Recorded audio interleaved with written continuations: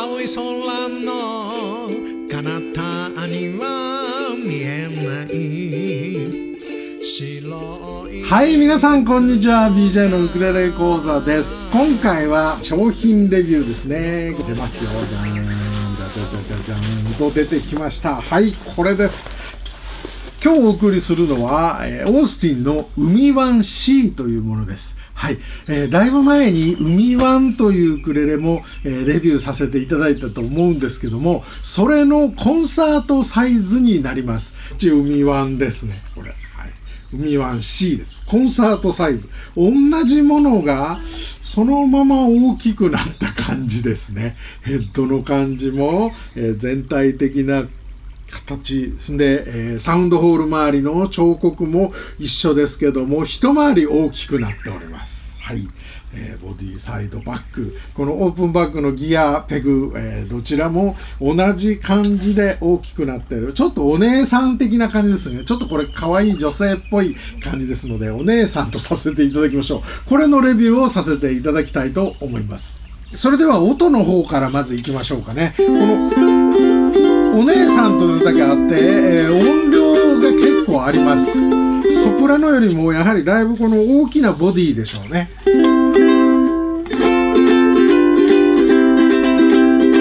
ても包み込まれるような豊かなマホガニー。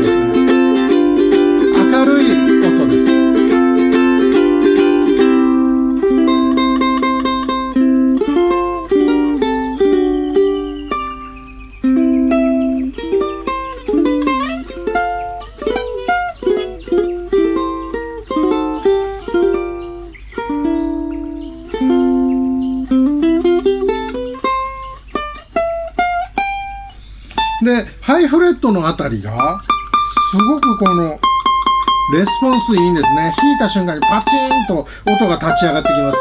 これあの弾き込むと絶対いい音になりますよ。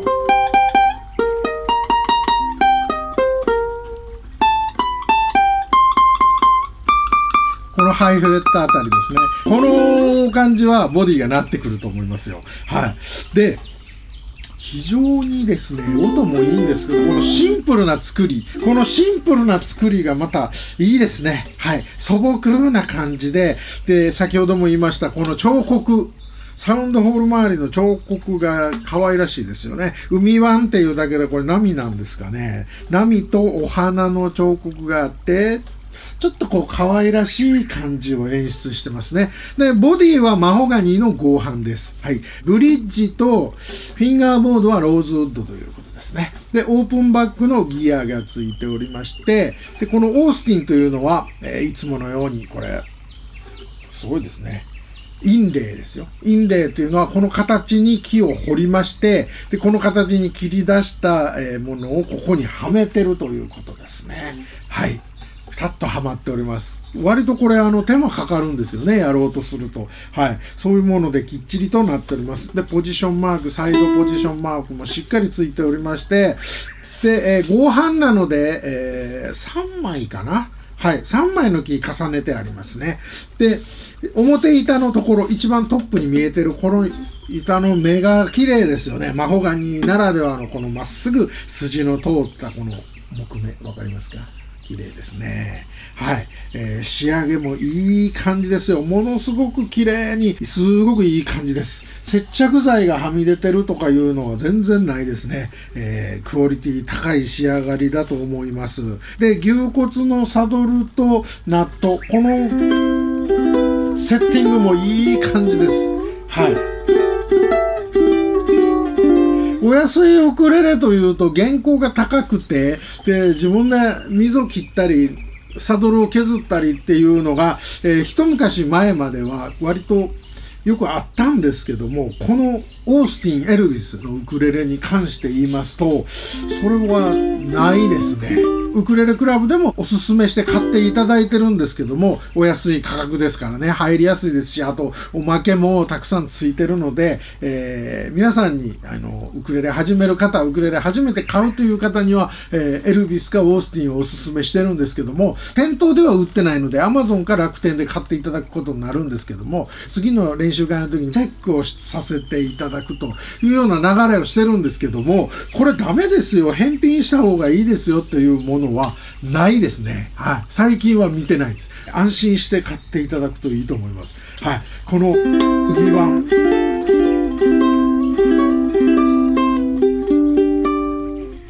海湾のお姉さんですね海湾 C この優しい音もいいですよねはい、ネックも割と細めでしっかりとした握りでしっかりと弾ける感じですね。ハイポジションまでスムーズにいく。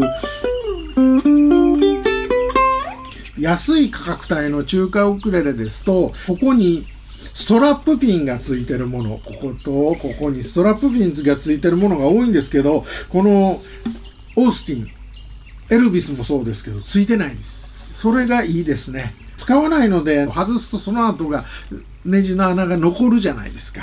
はい。えー、つけたい方は新たにつければいいと思うんですけども、そういうところも好きです。あと、本当に職人的な仕事をされてるみたいで、綺麗です、仕上げが。この辺の接着してる部分ですね、ボンドとかがはみ出たり、傷がついてたり、そういうものはないですね。えー、工場の方でそういうもの見つかったらすぐ破棄するという話を聞きました。はい、えー、やはりですね、クオリティの高いものをということで、えー、BGM、まあ、あの、ウクレレクラブでおすすめするときに Amazon でどうぞこの機種買ってくださいっていう時に DJ に言われた通りに買ったら良くなかったっていうのがあると困りますのでやはりいいものだけ紹介したいなということで今回にもなってるんですけどもすごく楽しいウクレレです。その作ってる方の気持ちがこう伝わってくるような感じがするんですね。はい。それですので BJ はあの皆さんにこの海湾 C これおすすめしたいと思います。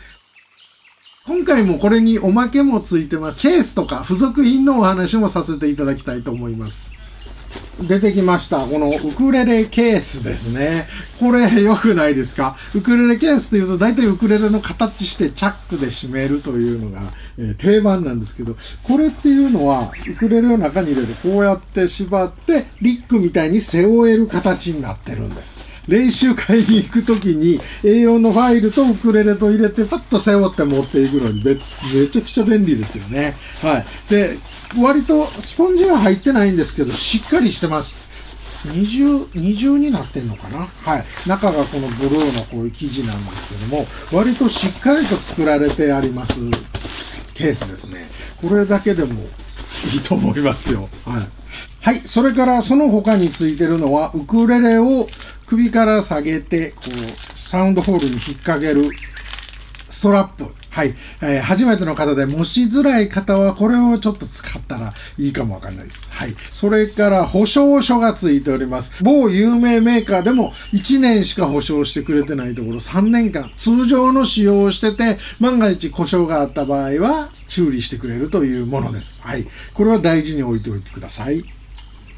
はい、それから、えー、ウクレレベーシックコードチャート。コードチャートっていうのはコードの押さえ方が書いてあります。ですので、えー、ネット、インターネットとかでですね、好きな曲、タイトル、コードって入れると、えー、出てきます。はい。曲に、歌詞にコード振ったものが出てきます。そういうのを弾くときに、えっ、ー、と、C メジャー7ってどんな押さえ方だっけっていうのを調べるものがコードチャートというものなんですけども、これだけあれば、もうほぼポップス全部いけるんじゃないかなって特殊なコードを除きますけどもほぼ大体 BJ が使ってるようなコードは全部ここに載ってますのでこれ一つあれば便利です。新たに買う必要がありません、はい、それから始めようウクレレ入門というこう小雑誌ですね、はい、ここにいろいろとウクレレの、えー、歴史ウクレレのポジションのこのそれぞれの名称ですね、はい、そういうのが書いてありましてあとはチューニングの仕方それからウクレレのいろいろこの弦の交換の仕方、そういうの載ってますので、これを見れば、大体まあウクレレの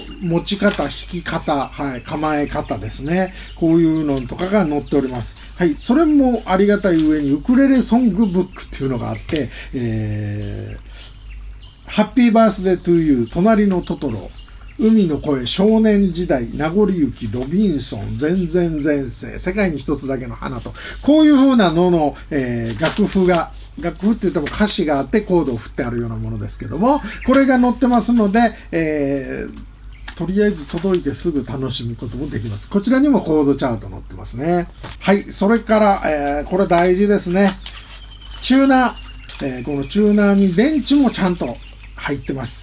はい、届いてすぐ電池入れていただくと、もうチューニングして弾く状態ができます。ウクレレと電池も一緒に買う必要はありません。まあ、あの、スマホのアプリでもチューナーが無料であるんですけども、一人の場合はそれでもいいんです。スマホのアプリっていうのは、そこに出てる音をスマホのマイクで拾ってそれでチューニング合ってるかを調べるアプリなんですね。そうするとウクレレチューニングする人が3人4人といるとどの音を拾っていいか分かんなくて混戦して合わせられないんです。でこういうチューナーっていうのはヘッドにつけてこの振動を拾ってチューニングするんですね。だから10人いる練習会でもこれで電源入れてチューニングすると合わせられるんです。はい。スマホのアプリ無料でありますよともお話しするんですけど、それはあくまでも家で使っていただいて、実際はこのチューナーを持ってた方がいいんですね。はい。で、買うと、まあ、1000円ぐらいはするので、それがもともとおまけとしてついてるというの、